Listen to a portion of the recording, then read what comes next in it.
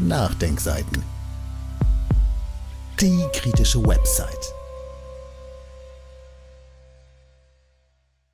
Das Flaggschiff des Liberalismus läuft amok. Zeitgemäß. Von Wolf Wetzel. Verantwortlich Redaktion. Der Putsch in Bolivien wurde von zahlreichen Medien geleugnet oder verteidigt. Anschließend wurde auffallend wenig berichtet. Eine Ausnahme vom Schweigekartell macht die Zeit. Sie versucht noch immer den Umsturz als Akt der Demokratie darzustellen. Nachdem der Putsch in Bolivien, der in Deutschland von FAZ bis Taz als demokratische, zivilgesellschaftliche Sternstunde gehandelt wird, erfolgreich abgespult wurde, kehrt Ruhe in den kapitalgedeckten Blätterwald ein. Man berichtet auffallend kurz, so als müsse man sich dabei die Augen zuhalten, wenn man noch einigermaßen bei Trost ist. Keine Frage, wenn sich die zweite Vizepräsidentin des bolivianischen Senats, Janine Yanes, zum Übergangspräsidenten erklärt und dabei auf dieselbe Bibel schwört, die der glühende Putschist und Millionär Luis Fernando Camacho vor sich aufschlägt, als er den Boden des Präsidentenpalastes küsste, dann ist es besser abzuschalten. Die meisten Medien wissen natürlich, was kommen wird, was man nach ein paar Stunden Recherche herausbekommen könnte, also überlassen sie das Erwartbare bis Erwünschte dem Lauf der Dinge. Und dann hat die selbsternannte ganz christlich so skizziert, Zitat, Wir kommen aus einer der dunkelsten Episode unserer demokratischen Geschichte. An diejenigen, die Schaden angerichtet oder ein Verbrechen begangen haben, Gott und Gerechtigkeit werden euch richten. Zitat Ende. Spiegel.de vom 13.11.2019. Doch das Magazin Die Zeit macht in diesem Stillschweigekartell eine bemerkenswerte Ausnahme, wofür man dankbar sein sollte. Als hätte der Journalist Michael Ebmeier zu viel Coca-Blätter konsumiert, lässt er seine liberale Leserschaft wissen, dass die bolivianische Demokratie lebt, dass Evo Morales erzwungener Rücktritt der größte Erfolg einer Politik ist, die er selbst eingeführt hat, was laut Zeit.de vom 12. November zusammengefasst bedeuten soll, es ist kein Putsch.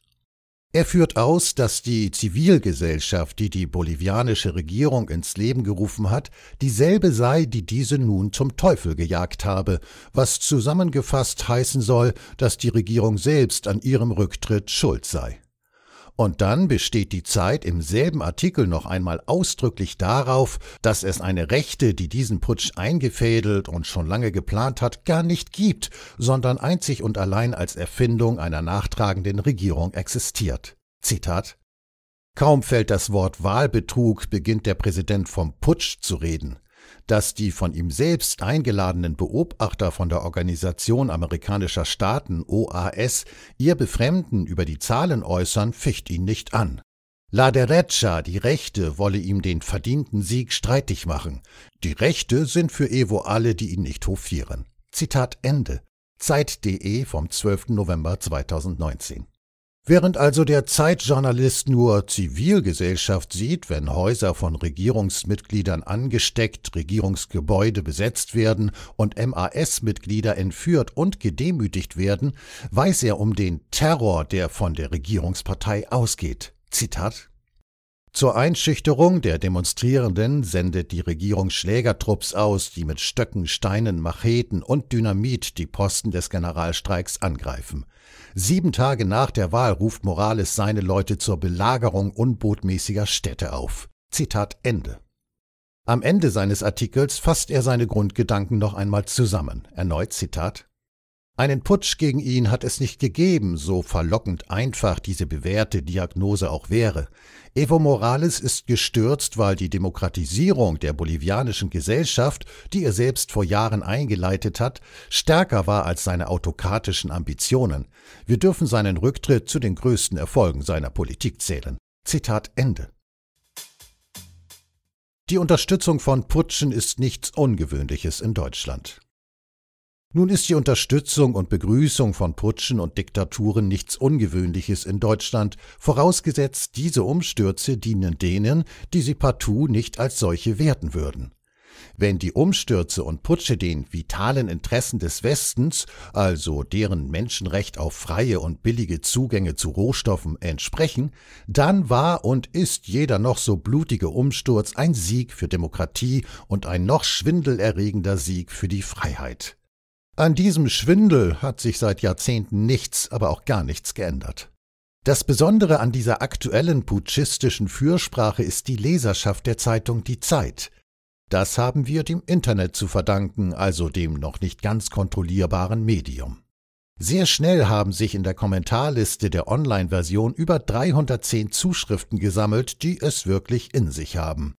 Sie widersprechen in großer Mehrheit dieser wahnsinnigen Drehung, mit der ein Putsch in eine Demokratisierungswelle verwandelt wird. Zitat Zuletzt hatte Morales neben einer kompletten Überprüfung der Wahl durch die OAS politische Gespräche mit der Opposition und schließlich Neuwahlen angeboten. Ich habe nichts mit Evo Morales und seiner Regierung zu verhandeln, antwortete Mesa in einer Videobotschaft und lehnte damit eine politische Lösung der Krise ab. Auch die Anführer des radikalen Bürgerkomitees aus Santa Cruz, Luis Fernando Camacho, wollte von einer Überprüfung der Ergebnisse und Neuwahlen nichts wissen. Er forderte ebenso den Rücktritt von Morales und die Bildung einer Regierungsjunta. Immer noch kein Putsch? Think Tank? Ja klar, wenn das Militär höflich um einen Rücktritt bietet, dann ist das keine Drohung und auch kein Putsch, sondern ein großer Erfolg der Demokratie. Hurra! Na, so wie es für die USA gleich H. Clinton und natürlich im Gefolge für D 2009 kein Putsch gegen den Präsidenten in Honduras gab. Und natürlich ist der, trotz Wahlbetrug und dank Unterstützung durch die Drogenmafia 2018 gewählte Hernandez für die USA und im Gefolge ein demokratisch legitimierter Präsident. Und die Konrad-Adenauer-Stiftung arbeitet seit Jahren in verschiedenen Ländern Südamerikas an rechten Parteien und Regime-Changes. Da wundert einem die wohlwollende Zustimmung des Regierungssprechers zu diesem Putsch auch nicht mehr. Natürlich war es ein Putsch von Militär und Polizei. Die gelegten Audiodateien, Gesprächsmitschnitte zwischen US-Senatoren, bolivianischen Oppositionellen und Militärs erhärten auch den Verdacht, woher die Korruptionsgelder kamen. Wenn in den nächsten 12 bis 24 Monaten die Nationalisierungen rückgängig gemacht werden und globale Konzerne und man achte dann auf die Nationalität dieser Konzerne wieder die Macht und Erträge dafür übernehmen, dann war es mit Sicherheit ein Putsch. Ernst Bloch würde besser schreiben. Durch den Artikel erhält man den Eindruck, dass die Rechte in Bolivien ein Hirngespinst von Evo ist. Der im Artikel als Volkstribun bezeichnete Fernando Camacho ist Präsident des Comité Civicho pro Santa Cruz. Die Internationale Vereinigung für Menschenrechte bezeichnete diese Organisation vor einigen Jahren als Akteur und Förderer von Gewalt und Rassismus. Zitat Ende. Morales Unterstützer sind autoritäre Pseudolinke mit kryptorassistischen Dogmen. Und dann mischt sich doch noch der Autor Michael Ebmeier ein und fasst die vielen ihm vorgehaltenen Hinweise, Quellen und Auslassungen so zusammen. Zitat Ach, so viele ermunternde Zuschriften von Leuten, die sich offenbar bestens auskennen. Emotionante de verdad. Aber die neunmal Klugen auf dem Mansplaining-Portal heise.de etc. müssen einem ja auch leid tun. Es gibt nichts Schlimmeres für autoritäre Pseudolinke, als ihre kryptorassistischen Dogmen in Frage gestellt zu sehen. Zitat Ende. So viele verständliche und kryptische Beleidigungen auf engem Raum muss man erst einmal zusammenbringen. Bei anderer passender Gelegenheit hätte die Zeitmoderation diesen Beitrag mit folgender Erklärung gelöscht. Entfernt Bitte formulieren Sie Kritik sachlich und differenziert. Danke, die Redaktion. Die Moderationkriterien gelten selbstverständlich nicht für den Autor. Beenden wir diese Rundschau mit einer bemerkenswerten Erwiderung. Zitat Wer den Q als Q bezeichnet, ist also ein mansplainender, kryptorassistischer, autoritärer Pseudolinker. Das hat aus ihrem Mund eine ähnliche Ironie wie Bolsonaro, der seinen Kritikern Kolonialismus vorwirft, oder Clinton-Berater, die Kritik an den Verbrechen der Clintons in Haiti zielsicher als Sexismus ausmachen. Aber wischen wir uns doch einmal den Schaum vom Mund.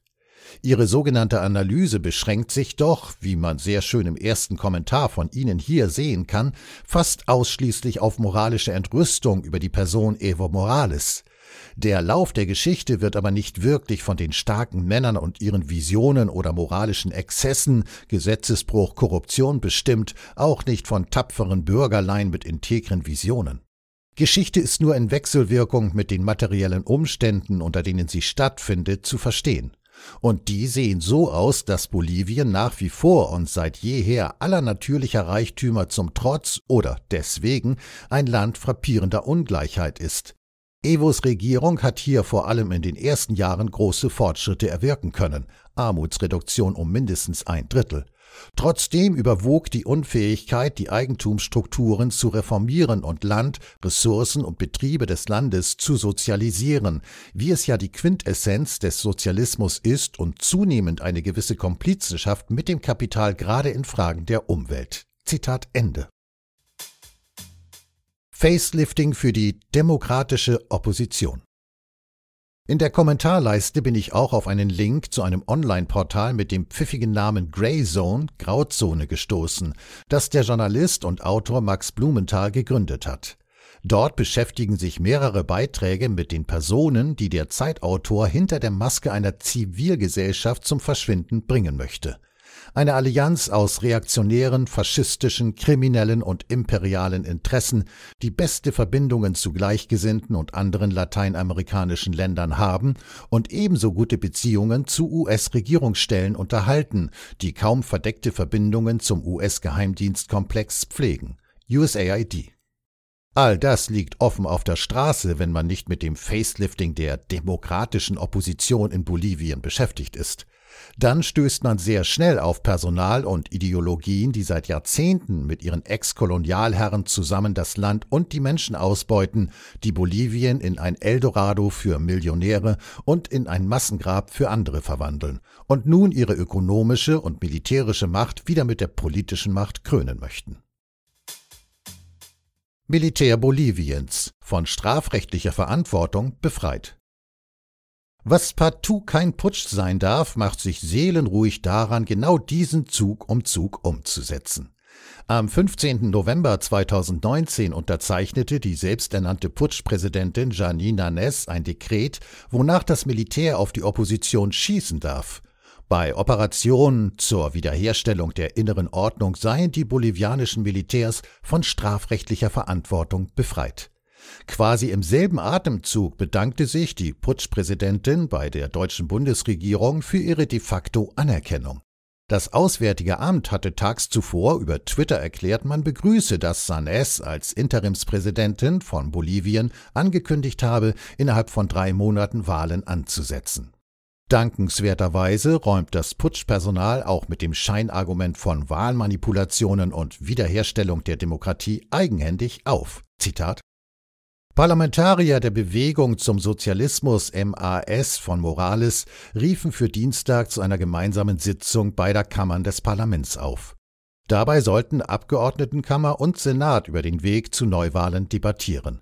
Wir können uns zusammensetzen und einen Dialog führen, sagte die Senatorin Eva Koppa MAS, die am Donnerstag zur neuen Vorsitzenden der zweiten Parlamentskammer gewählt worden war. MAS verfügt über eine breite Mehrheit im Parlament.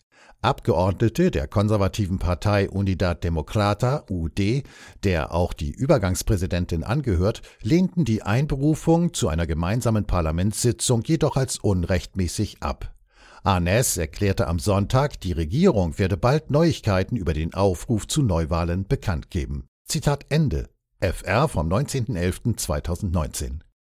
Es geht schlicht und einfach um die Ausschaltung einer parlamentarischen Mehrheit, also um die Liquidierung dessen, wofür man angeblich die Regierung zum Rücktritt gezwungen hat. Wenn es also ganz und gar nicht um Morales geht, sondern um eine politische und parlamentarische Mehrheit, die der Oligarchie im eigenen Land und den Verbündeten im Weg steht, dann hat man auch den eigentlichen Putschgrund, der nicht ganz so edel ist wie die Herstellung der Demokratie. Seitdem die MAS an der Regierung ist, hat sich vieles verändert und einigen viel zu viel. Zitat Tatsächlich ist seit 2006 einiges geschehen. Vor allem verleiht er Morales, der bis dahin diskriminierten indigenen Mehrheit Boliviens, ein neues Selbstwertgefühl. Armutsbekämpfung, kostenlose Gesundheitsversorgung, der Kampf gegen die Kindersterblichkeit. Das alles hat die Regierung umgesetzt, wenn auch nicht optimal. Bolivien ist immer noch ein armes Land in Südamerika, aber das Pro-Kopf-Einkommen der 11 Millionen Einwohner hat sich in Morales Amtszeit verdreifacht und der Umgang mit Boliviens Rohstoffen ist ein anderer geworden. Vorm Profit bei Gas und Erdöl behielten internationale Konzerne bis dahin 82 Prozent ein, für die Staatskasse blieben kümmerliche 18 Prozent übrig, der Gewinnanteil wurde umgedreht. Zitat Ende, Deutschlandfunk Kultur.de vom 16.10.2019. Es sind diese kümmerlichen Profite, die den Putsch antreiben und jene zu Propagandisten von Putschen machen, die die Selbstverständlichkeit satter Gewinne für das Normalste der Welt halten. Wo ist der Protest der europäischen Linken? Das Schlimme an diesen Putschfreunden ist nicht, dass es sie heute gibt. Das Schlimme daran ist, dass sich all das wiederholt, was in den 1960er und 1970er Jahren zu Diktaturen in Lateinamerika geführt hat. Das Personal, die Begründungen, die Absichten und die Ziele, die damit einhergehen, sind exakt die gleichen. Aber noch schwerer ist auszuhalten, dass es auf der anderen Seite wenig gibt.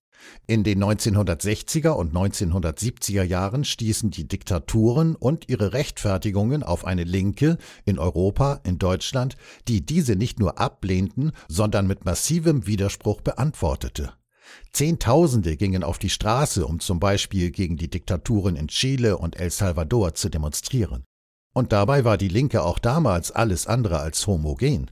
Und dennoch waren sich sozialdemokratisch, sozialistisch, kommunistisch, autonom und antiimperialistisch gesinnte Linke einig, wenn es um den Kampf gegen koloniale und postkoloniale Verhältnisse geht. Heute haben wir eine Linke, die fast nicht mehr vorkommt. Die Linke, die diesen Putsch in Bolivien ablehnt, ist marginal und als Widerspruch nur im Netz. Als Ausnahme für diese Regel wäre die Linksfraktion im Bundestag zu nennen, die den Putsch klar verurteilt hat. Auf der anderen Seite haben wir eine Taz und eine Partei Die Grünen, die zwar händeringend darum betteln, in der Mitte aufgenommen zu werden, aber dennoch mit ihrer linken Vergangenheit gelegentlich hausieren gehen. Und sei es dadurch, dass es einzig und alleine ihr vorbehalten bleibt, die Putsche in Brasilien und Bolivien mit einem feministischen Olivgrün zu tarnen, weil es dort um zwei entbehrliche Männer geht. Unter dem Artikel finden Sie zahlreiche weiterführende Verlinkungen.